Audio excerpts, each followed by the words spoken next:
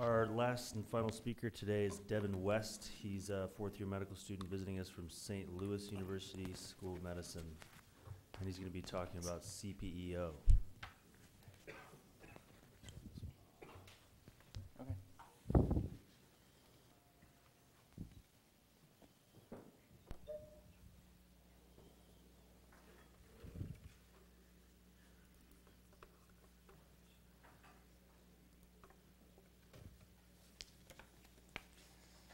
Okay, good morning, everyone. My name is Devin West. As he said, I'm from St. Louis University. And uh, I spent the first two weeks here at the Moran. This is my third week. Um, so I, I spent the first two weeks in neuro-ophthalmology clinic. And so today I have uh, a case to present to you.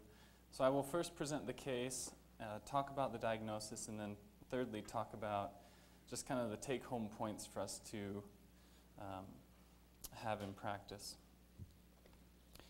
So the patient uh, was a 57-year-old Caucasian female without a chief complaint. She was referred to us by her neurologist.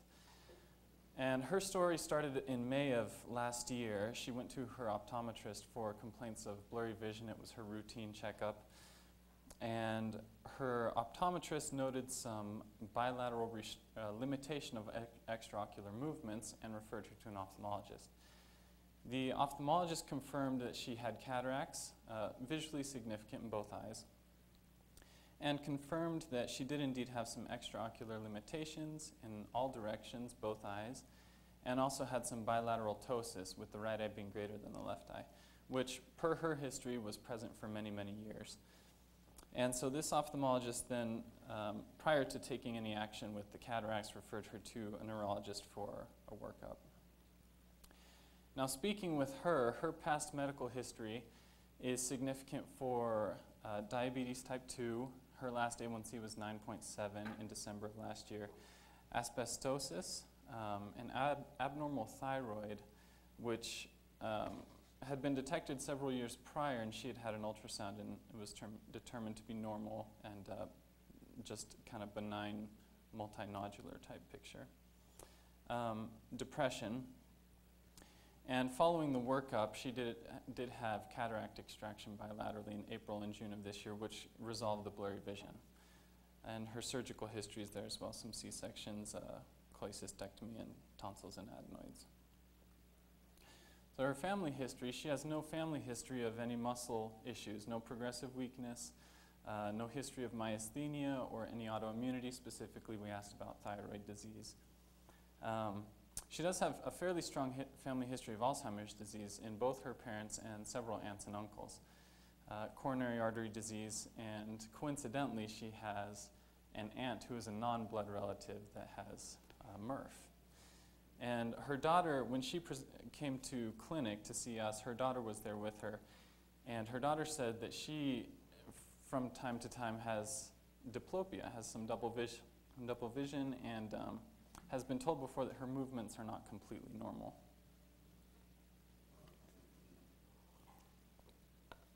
So I mentioned she was referred first to her neurologist, and this was the workup that he had done. He did uh, first some blood work. He obviously checked her thyroid, which was normal. She was negative for any anti-acetylcholinesterase or acetylcholine receptor antibodies, but she did interestingly have an elevated lactate and pyruvate. MRI was normal. Uh, bilateral carotid ultrasound was normal.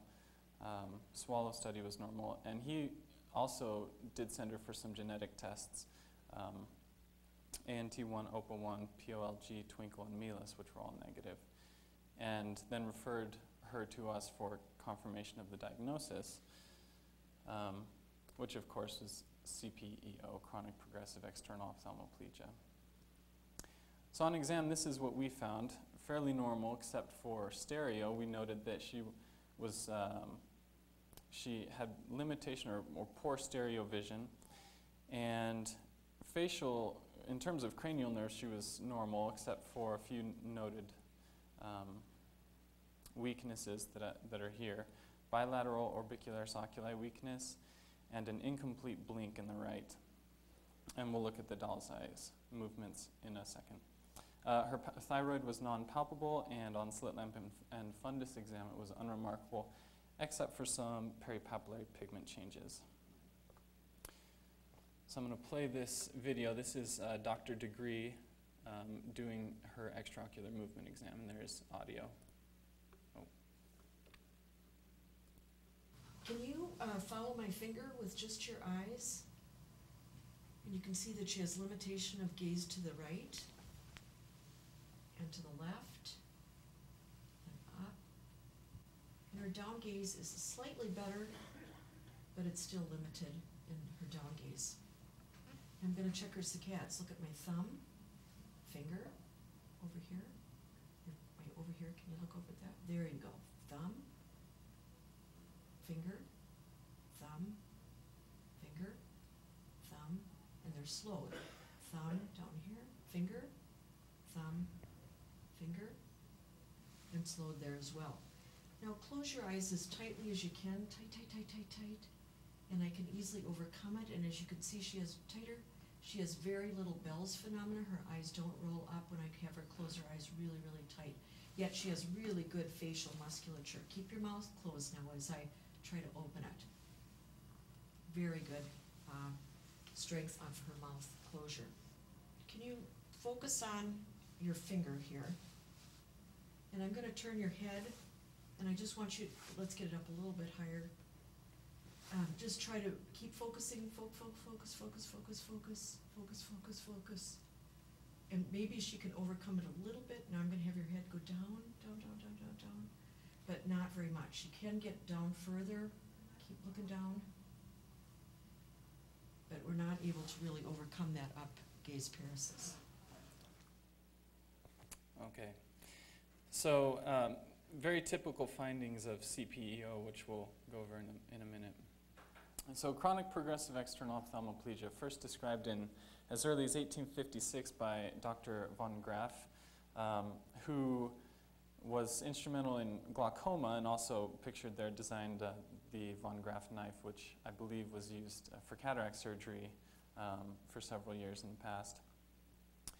So, the main symptoms for CPEO are progressive bilateral um, limitation of vision with progressive ptosis. And one study showed that the most common symptoms were difficulty with small print and difficulty with driving, so almost um, a, a convergence, divergence, insufficiency type of picture. Uh, but most patients are asymptomatic and often do not complain of diplopia. You look at their movements and you think, wow, this person should have diplopia. And actually, I didn't show it, but on exam, she also had a, about a, a 12 exophoria, which um, was similar in lateral gazes. But again, she did not have any diplopia.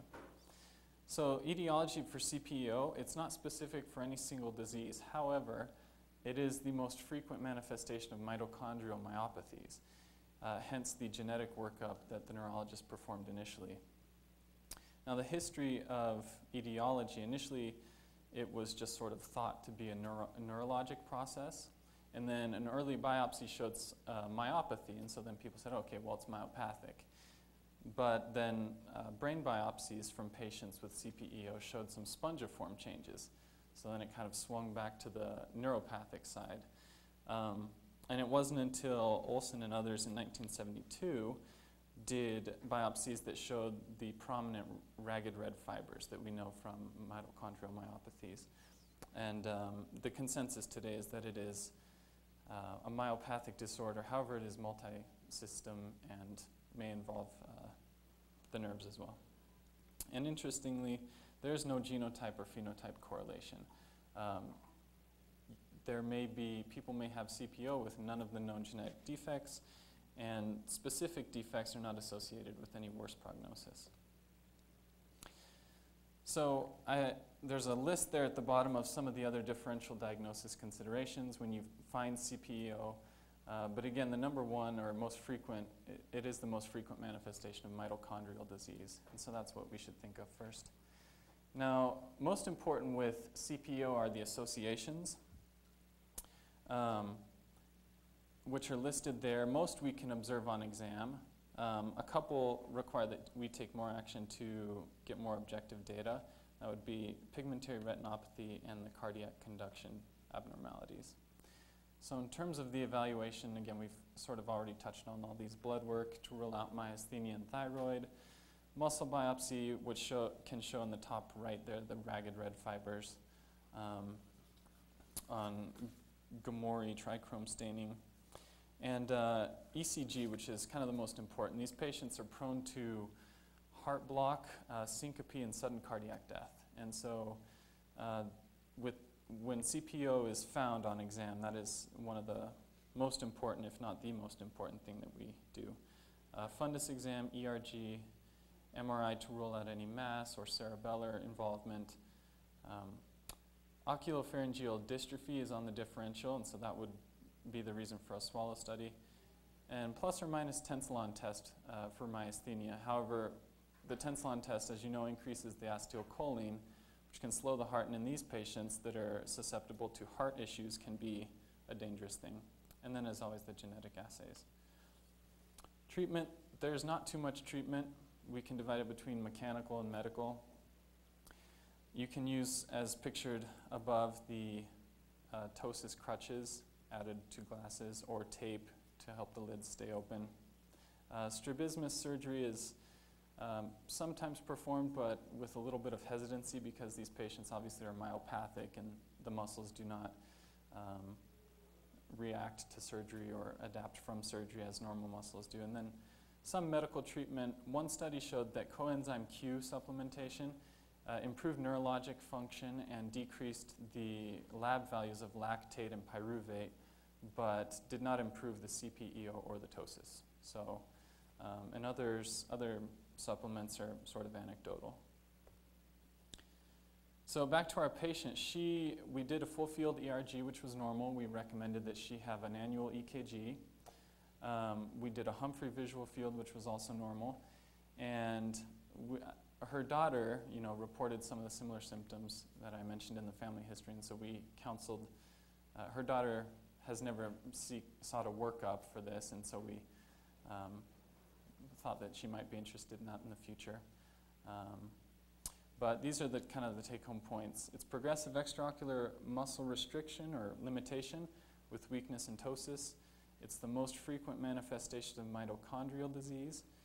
No proven treatment exists, however, some anecdotal evidence is there for some supplements. And the serious complications include cardiac conduction defects, retinopathy, endocrine abnormalities, if you'll remember, she was diabetic, and uh, dysphagia. So I want to thank the neuro team that I worked with for the first two weeks for their teaching and help with this case, and everyone else I've met. I've had a great experience thus far. Thank you.